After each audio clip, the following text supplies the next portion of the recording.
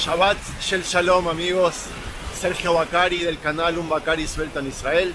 El paseo de hoy va a ser en Aco o Acre, uno de los puertos más antiguos que se conoce no solo en Israel, sino en el mundo entero. Detrás mío, como se deben imaginar, la costa mediterránea y lo que voy a hacer es ir caminando desde aquí rumbo a la ciudad vieja de Aco para contarles la historia de esta ciudad, de este puerto de este lugar tan importante para todos. Listo, vamos. Amigos, Acre es patrimonio mundial de la UNESCO desde 1990 y es una de las ciudades más antiguas, no solo de la Tierra Santa, sino del mundo entero. La parte antigua de la ciudad, a la que iré ahora, nunca ha dejado de estar habitada en los últimos 6.000 años. Las referencias bíblicas de Acre se remontan a la Biblia judía, donde se la menciona como una provincia del reino de Shlomo llamada Aco. Y también se menciona en la Biblia cristiana como el lugar donde se encontró Lucas, el evangelista, y San Pablo tras su tercera misión, encuentro detallado en el libro Hechos.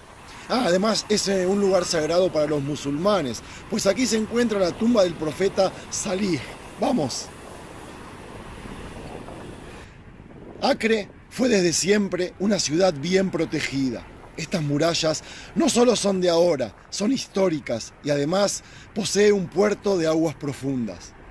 Cuando una ciudad tiene murallas, significa que es importante y mejor aún para nosotros, significa que es rica en acontecimientos históricos. En el caso de esta ciudad, su importancia remonta a la época del dominio cruzado en Tierra Santa. Los cruzados, que fundaron el reino latino de Jerusalén en el año 1099, no lograron en un principio doblegar las fortificaciones de Aco, que ya existían de la época helinista, pero en el año 1104, después de meses de un duro asedio y con la ayuda de la flota genovesa, la ciudad se rindió y se entregó al rey Balduino I. Consciente del significado de la ciudad y de su puerto para la seguridad del reino, los cruzados comenzaron de inmediato a construir un sofisticado sistema de fortificaciones compuesto por murallas y torres. Esos eran eh, edificios que se diferenciaban de todo lo que ellos habían construido anteriormente. Las fortificaciones de Acre, en las cuales los cruzados habían depositado su confianza, cayeron con relativa facilidad en poder de los musulmanes cuando llegaron hasta aquí. Poco después de su victoria en la batalla de Carney Gitín, ¿se acuerdan que les contaba ayer en mi paseo por Nazaret? La ciudad se rindió a Salah Hadin, a Saladino, y sus habitantes cristianos fueron evacuados. Los cruzados regresaron y pusieron sitio a Aco en 1188 y lo trágico o lo cómico fue que no lograron penetrar por las sólidas fortificaciones que ellos mismos habían construido. Al final, los musulmanes se rindieron a los reyes de Inglaterra, Ricardo Corazón de León, y al de Francia, Felipe Augusto. Y durante los siguientes 100 años, los cruzados gobernaron aquí con mucha tranquilidad. Acre era la capital política y administrativa del reino latino y fue el puesto de avanzada cruzado en Tierra Santa, una poderosa fortaleza que constantemente debía afrontar la amenaza musulmana. La última batalla por el control de Acre entre los cruzados y los musulmanes comenzó en el año 1290.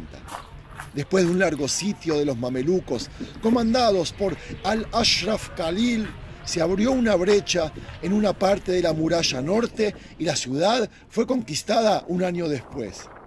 Esta fecha marcó el fin de la presencia cruzada en toda Tierra Santa.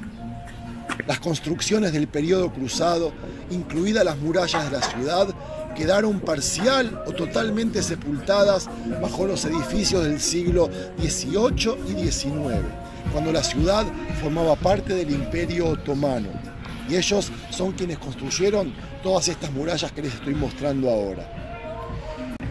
Eso que tenemos enfrente a nosotros es la iglesia de San Juan el Bautista, también llamada iglesia de San Juan. San Juan se llamaba Acre en unos siglos antes. Se trata de una iglesia católica dedicada a Yohanan Kadosh o Yohanan Matvil, como lo conocen ustedes.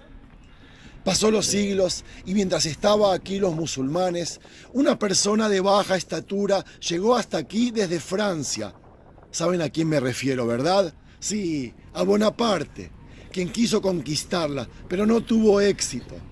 Ese año, me refiero al año 1799, el almirante británico Smith pactó con el imperio otomano contra la intervención francesa en Egipto. Napoleón Bonaparte sometió a esta ciudad a un sitio de dos meses, un sitio conocido como el asedio de Acre, que finalmente tuvo que renunciar ya que los británicos ayudaron eficazmente a los turcos que estaban aquí sitiados. Miren qué vista maravillosa que les estoy regalando, por si se aburren de mi relato. ¿Ven esa gente que está ahí sentada? Dentro de un rato se tirará al mar desde las murallas, les prometo. Yo creo que es la atracción más linda de la ciudad de los últimos 50 años. Ni iglesias, ni mezquitas, ni sinagogas. Después se los muestro. Otro dato curioso mientras sigo recorriendo la parte turística de Acre, en esta ciudad estuvo prisionero durante 22 años el profeta Baha'u'llah, conocido como fundador de la religión Bahaísmo. Aquí se encuentra su santuario, el cual es considerado el lugar más sagrado de la tierra para esa secta religiosa. Ese es el punto a donde todos los eh, Bahá'ís, creo que se dice del mundo, giran sus cuerpos para la oración obligatoria que realizan a diario. Los judíos miramos a Jerusalén, ellos miran a Acre. En 1918, los británicos asumieron el control en la región tras el desmembramiento del Imperio Otomano a consecuencia de la Primera Guerra Mundial. Acre quedó incorporada al mandato británico de Palestina.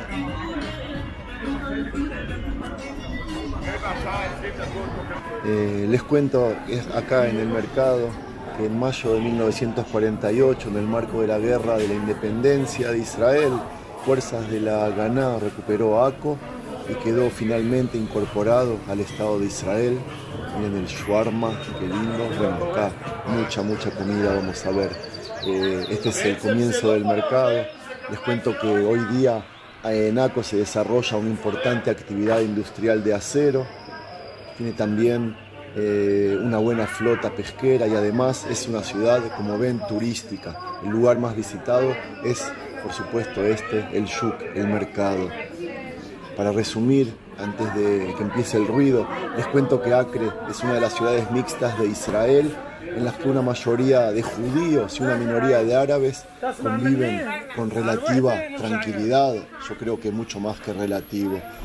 Cuando ustedes vengan aquí a pasear, yo les recomiendo, por supuesto, visitar la citadel del lugar, miren los pescados, qué belleza. Al tener acá un puerto grande, obviamente que los pescados son una gran atracción. Eh, estamos ahora, por supuesto, dentro de la ciudad vieja. Eh, no sé si les dije, miren los manjares. Eh, los jardines del Bahá'í, de la secta esa religiosa, que no son para nada, no, no, le caen de lo lindo que son los, de, los que hay en Haifa. Como ven, muchos pescados, mucha comida y no sé cómo se dice, creo que se dice cangrejos. A veces los cangrejos los, los venden acá en el mercado vivos. Eh, no, en este caso, obviamente los condimentos de todo colores, de todo tipo, eh, los aromas que hay son espectaculares. Em, yo tengo un sentimiento especial por este, esta ciudad porque hay una sinagoga, miren qué hermoso lugar. Hay una sinagoga que se llama Or Torah, la luz de la Torah, que es una sinagoga, el mismo nombre de la sinagoga que yo solía ir en Buenos Aires. Miren la variedad y cantidad de aceitunas. Hay picantes, hay agridulces, hay, hay de todo. Bueno, este es el mercado, típico mercado, pero las hojas de parra para, eh, por supuesto, para cocinar eh, cuando estén por aquí y quieran ver una mezquita, yo les recomiendo la mezquita Al-Hazar, que se llama, que es eh, imponente, creo que la filmé al principio de color verde.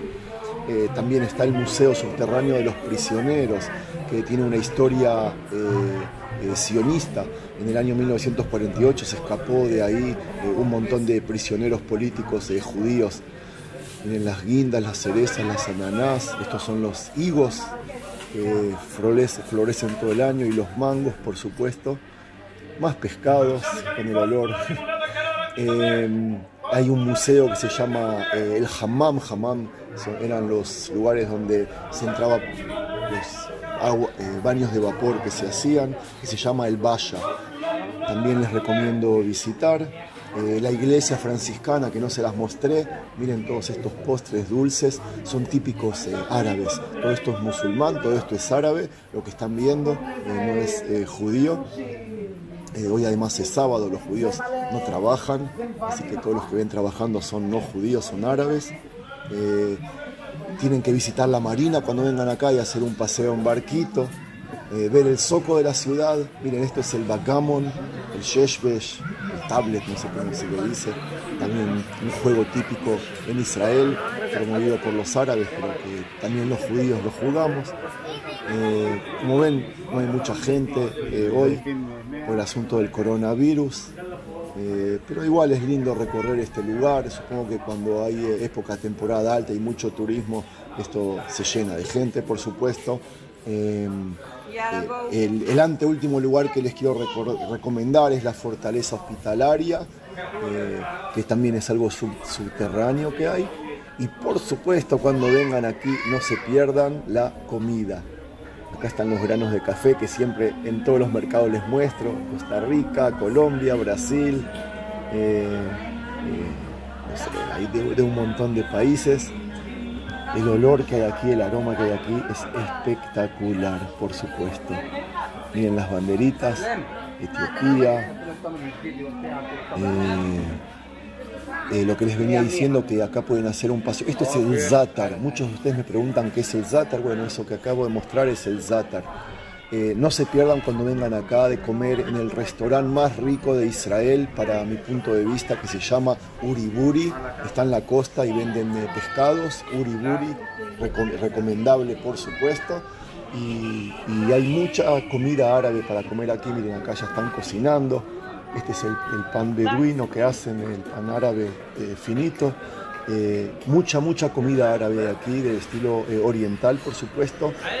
Vengan con mucho hambre para comer primer plato, segundo plato, postres, esto que estamos viendo acá. y, pescados, pescados y pescados. Yo, mi restaurante favorito es Uri Buri. hoy pienso ir a terminar el paseo ahí antes de volver a casa. Estas son, son las narguiles, con esto fumamos en Israel, bueno, tanto los jóvenes como los ancianos, también es una, eh, una costumbre que copiamos de, eh, los, de, los árabes. Y como ven, condimentos, condimentos y condimentos de todos los colores, muy puros y, riquísimos. Ahí, están vendiendo los pescados Miren, hay cangrejos, mira, víboras, no sé cómo se dicen estas cosas. Y ahí está agarrando los cangrejos, miren, le voy a mostrar cómo agarra los cangrejos vivos. Les dije que se les escapa. Y... ¿Cómo no tiene miedo? ¿Quién va a comer eso? ¡Ay, no, con la mano! Me muero, me muero. Bueno. están vivos. No sé, me hace acordar esto a China, me hace acordar a. Miren el pulpo que hay ahí, pedazo de pulpo que hay. Sigue agarrando. Ahí está. Bueno, quiero ir eh, corriendo ahora a terminar el video ahí donde eh, los chicos se tiran al agua desde las murallas.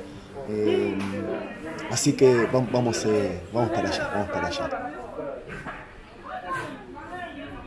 Por acá salimos por supuesto, y vamos a la costa.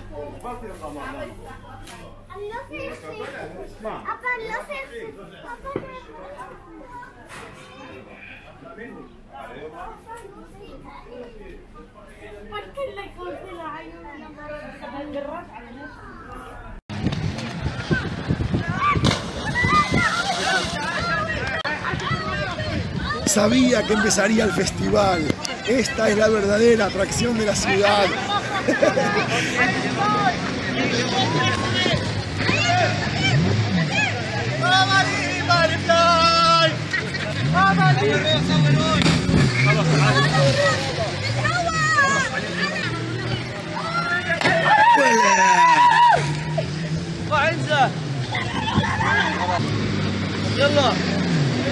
انزل يلا بطل تعمل لي بياض شفت القرار روح تحب تنطر واصي حمس انا وانا وراك لا توقف لسه حصل المويه مين هسه انت؟ Me parece la mejor manera de cerrar la filmación. Últimamente todos los videos están terminando con chapuzones. Esta vez de los primos musulmanes de Aco. Salam aleikum. Shalom a todos.